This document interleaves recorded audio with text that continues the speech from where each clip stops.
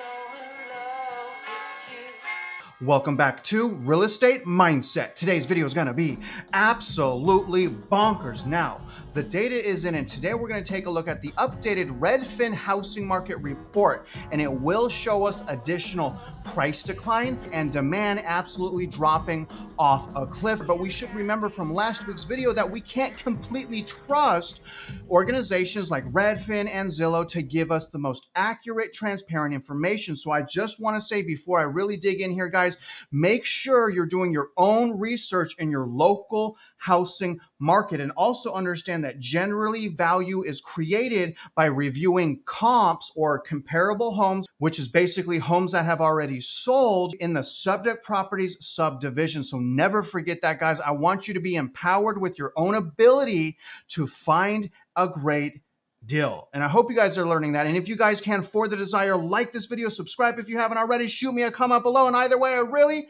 Hope you guys enjoyed today's video. The name of this week's report is Housing Market Update. Monthly housing cost hit all-time high, deterring would-be buyers. Now we'll take a look at what Redfin believes home buyers should know and what home sellers should know and what they believe is going to happen moving forward. And some of this stuff, you guys, at least in my opinion, is absolutely bonkers and absolutely ridiculous. Now, starting with what homeowners need to know. It's more expensive than ever to buy a home. The median monthly mortgage payment hit an all time high of $2,632 during the four weeks ending September 10th. Although the weekly average mortgage rate has declined slightly from August to decade high, it's still sitting at above 7%. Prices are up too, increasing 4% year over year. And I hate how they write that, you guys, because they're talking once again, just like last year about year over year price growth. But the reality is, is when we look at the week over week data, house prices are not going up. House prices are going down once again. In fact, we're roughly 2% off peak. Where's that at in this article? It's nowhere to be found, guys. Now let's see what they want home sellers to know. Prices continue to rise because inventory is so low, posting one of its biggest declines in 19 months this week. But the reality is, guys, is months of supply has skyrocketed upward, and I'll show you guys that in the visualization of data. But again, they don't want us to know that. In much of the country, you're likely to get a fair price for your home. It will help if it's move in ready and it's in a desirable neighborhood. But keep in mind that high prices, elevated rates, and the lack of inventory is sending some buyers to the sidelines. Mortgage purchase applications are at a three decade low and are down 12% year over year. Now, looking forward, here's what Redfin has to say. This week's CPI report shows that inflation came in a touch higher than anticipated, except in shelter, which is absolute runaway inflation, in my opinion.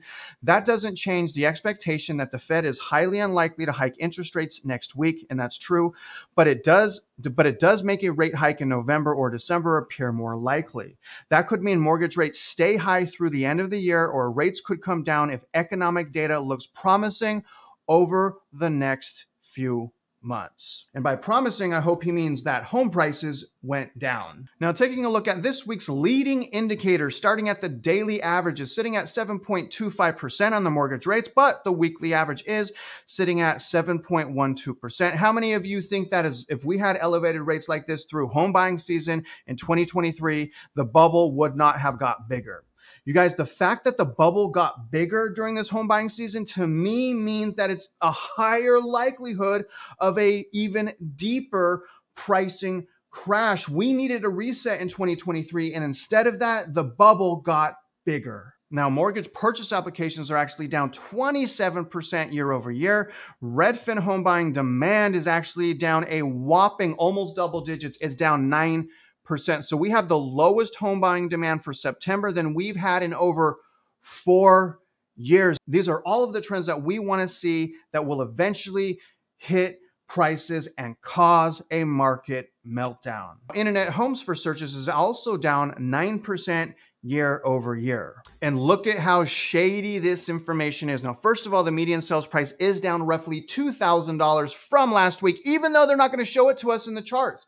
They are not going to show us a downward trajectory in the home prices on their data visualization. And honestly, guys, I think that is highly manipulative. I am so disgusted that they edit, at least I believe that they edit the trajectory of the graphs to hide just how far home prices are declining. They decline sharply week over week. Do you remember last week how median asking price was only $1,000 off from median sales price? Look at the gap, you guys. They just gave us week over week an $8,000 gap from median asking price to median sales price. Again, you guys, I smell something fishy here. How did it go up $8,000 in one week? This is crazy to me. Taking a quick look at Houston, the median sales price going into September for Houston, according to Redfin, is 338,000, sitting at a negative 1 year over year. However, when we go to Rocket Homes, we see a median sales price of $315,000 for August at a decline of 4.8% year over year. And the reason I'm telling you guys this is because I'm frustrated because there are so many different data providers that show so many different data points being different from each other. It's very scary, you guys, and it's very frustrating. And that is why, even though we may not like this, realtors are incredibly important. But the thing is, is they need to step up. They need to do a better job, transparency, being forthcoming, understanding your job, using the data to find the deal right? Because MLS access gives us the true picture of the housing market in our local areas. We cannot lean on Redfin. We cannot lean on Zillow. Now, let's move on to data visualization. Let's start at median sales price. And again, you guys, this went down roughly $2,000 week over week. Okay, and that's a four week rolling average of median sales price. And what I want to show you guys is this is the trajectory week over week, this point to that point.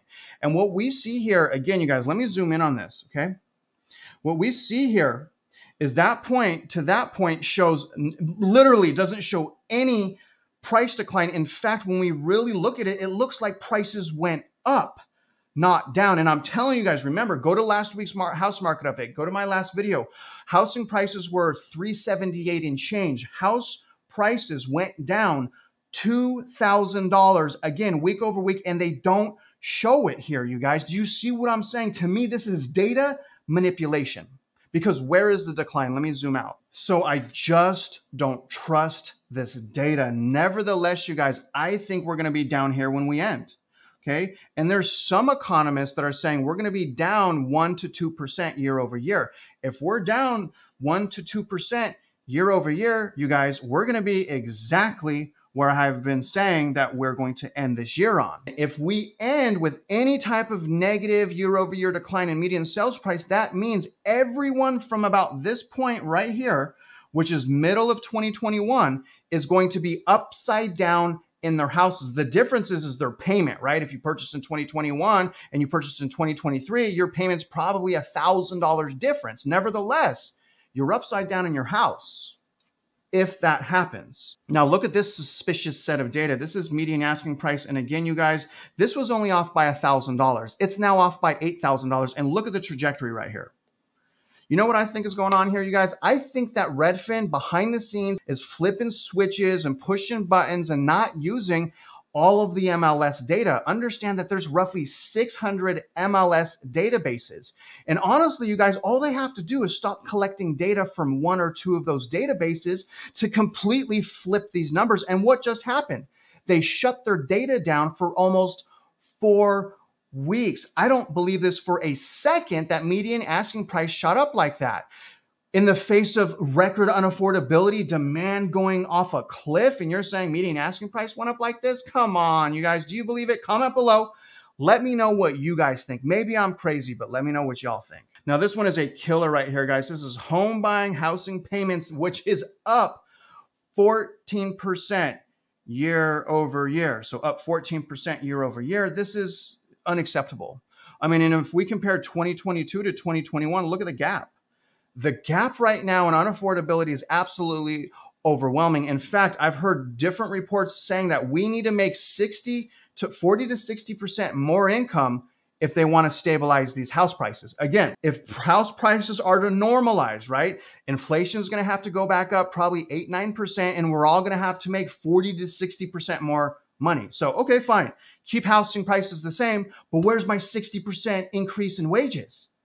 I haven't had that yet. Have you? Also, despite what Glenn Kelman is saying, pending sales is actually still going down. We just heard a video uh, from this morning's live, and if you guys don't catch my lives, catch my morning lives. I try to start them at 8:45 a.m. Central Time. We have a great time there, and we keep our fingers to the pulse of the housing market. And I also chapter those morning lives. So if you guys want to visit, uh, check that out. And I also try to put overwhelming consumer value. But nevertheless, you guys look at the trajectory sales are going down. And what we want to see is we want to see new listings of homes go up. And we've seen week over week that it is basically plateaued, which is good because as long as it's not going down, we should be okay. All right, guys, take a look at this beauty right here. And this is exactly.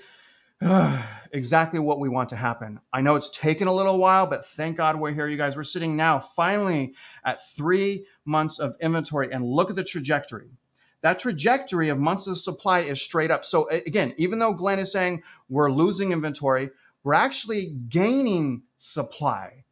And it's the laws of supply and demand, right? Not inventory and demand, it's supply and demand. And right now, you guys, thank God, supply is going up. And if it keeps that trajectory, we won't have to wait much longer for enough inventory to crash prices. Now, here's a fantastic set of data. These are listings that had price cuts.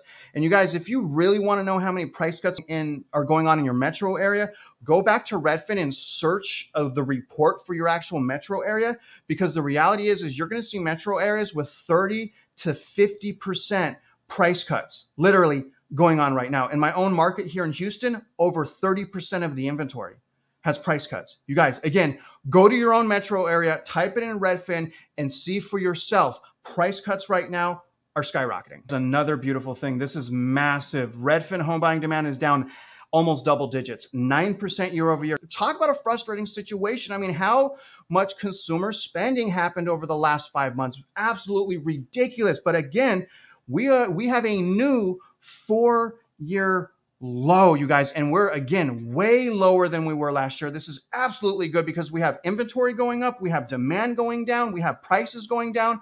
This is exactly what we want. If you're in the camp of affordable housing coming back to America, which I am definitely in. And again, you guys, even if we keep the same amount of inventory, prices will naturally go down because they have not been built on sustainable fundamentals like price to earning ratio or payment to income ratio or equity growth, matching wage growth, and things of that nature. And again, you guys, you know, these are just my opinions. I have the information linked in my description. I understand that every market is different. In fact, it's so different within big metro areas, there's additional markets that are called subdivisions. Don't forget that. Remember, you want to review a subject properties subdivision to understand the true value of that home. And other than that, guys, I really hope you guys got some new value, insights, and perspective. And if you're out there investing in real estate, you know I wish you luck and I hope you win.